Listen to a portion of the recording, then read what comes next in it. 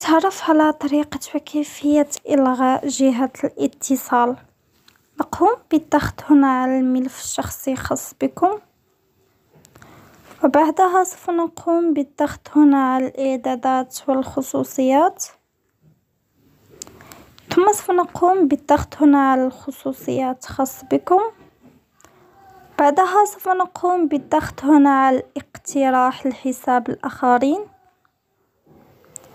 بعدها سوف نقوم بإلغاء جهاز الاتصال. وهكذا نكون قد قمنا بإلغاء الجهاز الاتصال. وهكذا نكون قد قمنا بحل المشكلة. ولا تنسوا الضغط على زر لايك والاشتراك في القناة.